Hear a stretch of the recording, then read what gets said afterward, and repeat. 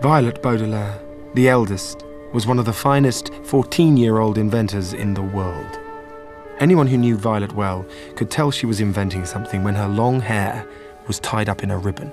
No one was better to test her inventions.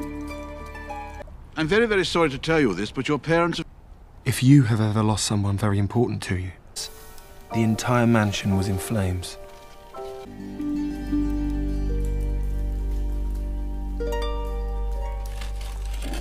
Isn't it lovely, children? I'm Violet, and this is my brother Klaus and my sister Sunny. Poe, mortuary man. Your house is so beautiful. Oh, thank you. And Cribbo! Uh, how do you do? Sunny's our sister. The idea! And what am I to do with them until then? Fortunate as their situation seemed, Dinner? But we've never made dinner before. Pasta it is. Sunny, a little help? Okay, we're gonna need a pot No pot. and a strainer. No strainer. Thank you. Ah, and a saucepan. uh, dinner is served. Roast beef. Beef, yes, roast beef. But you didn't tell us you wanted roast beef. you monster! Klaus, what are you doing? I'm going. Going where? Klaus? Well, maybe they did have a plan. Do you remember when mom and dad went to Europe? And we thought they'd abandoned us because they didn't even write. And then we found out they'd written a long letter just gotten lost in the mail. Do you remember how guilty we felt for thinking bad thoughts about them? This is just like that.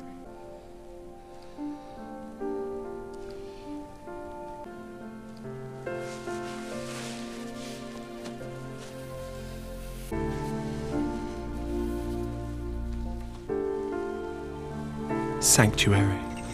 And I realize that I've been a bit standoffish, shall we say?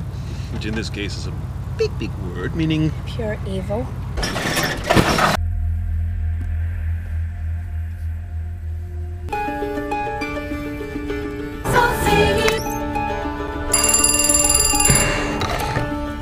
Count Olaf, hello! Mr. Poe, thank goodness! Who is this? It's Violet Baudelaire. We're in Count Olaf's car. We're going to be hit by a train! Klaus, you've read books on trains. What do we do? It's too far away. No. There has to be something we can use to pull it. There's nothing in here. There's always something. Sunny, bite the head off that elf. Violet, I got it. I don't mean to rush you. Nice shot. Thank you. Pull. Do you know what kind of scientist he is?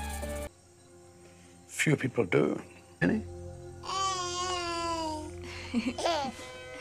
Unbridled, so gallant rode he. Tree, you know. I think I know that song. I think. I think our parents used to play if you had children. Oh, yes. Uncle Monty, why are you doing all this for us? And so, the Baudelaire children.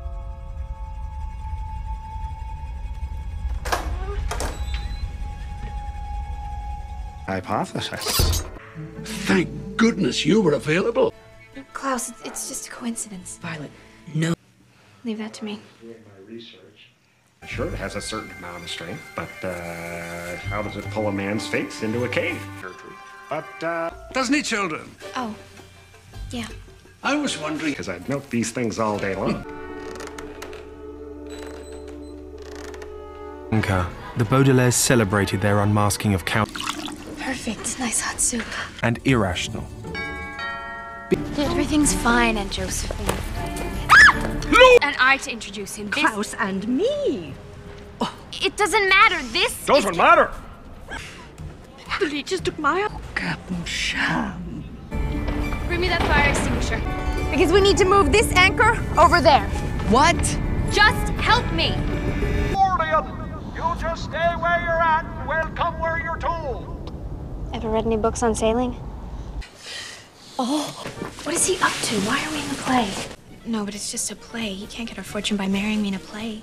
Uh, die. In order to be a valid marriage, it has to be administered by a. Violet, you look so beautiful. Strauss, you don't understand. The play is real. All the other actors I saw lacked the proper. Uh...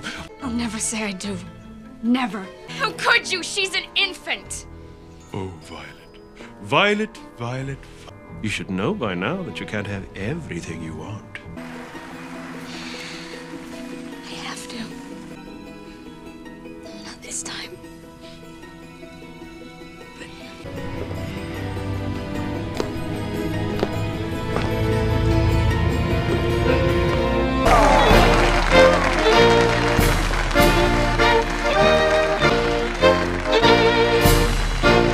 Wedded wife, in sickness and and in health, till death do you part. Just as.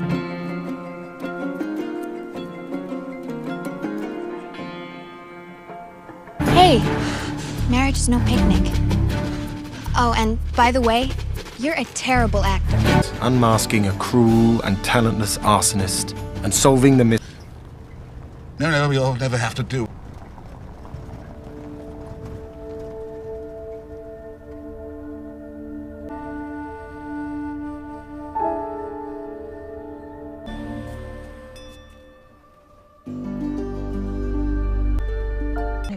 These are from. Who's it from?